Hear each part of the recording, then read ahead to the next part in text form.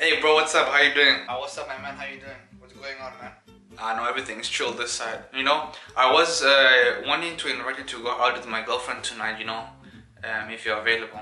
Uh, no, bro. Ish, no, I can't go out. I'm sorry, bro. I'm out of town, actually. Ah?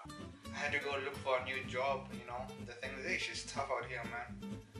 It's just pretty, pretty hard right now at the moment. I'm just trying to pay off bills. Ay, ay, ay. It's tough. Come on, bro. Stop making that excuse. Let me come to your house.